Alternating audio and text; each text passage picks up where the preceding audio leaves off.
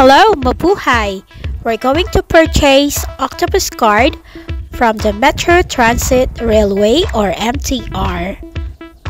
Please proceed to the information center and we have different kinds of octopus card.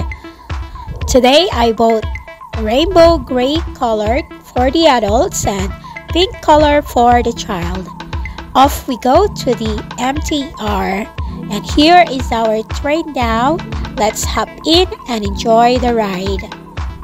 Octopus card is essential or part of life of Hong Kong people or when you're going to visit the place. You can use the octopus card as your fare for the MTR buses and the ferries. It is also the plastic money for buying goods and necessities.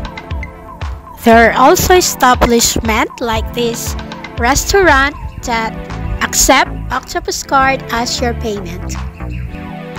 Filipinos love to eat and they are very much aware of hygiene.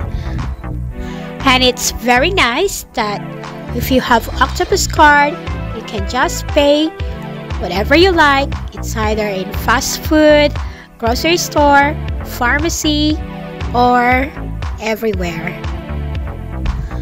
After paying lots of goods and services, it's now time to have an inquiry how much money have left. Then, go to the add value machine. Please put your card inside and wait for the green light and you can now put the money and wait until it says successful.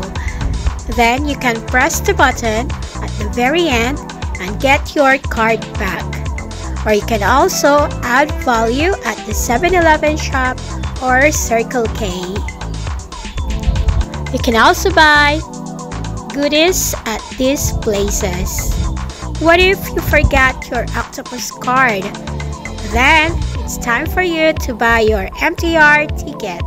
Just press the button where you want to go, then pay for the cash, or you can use the coins to purchase the MTR ticket. Wait for the card and grab it. Now, you can do this anywhere in Hong Kong where MTR is accessible.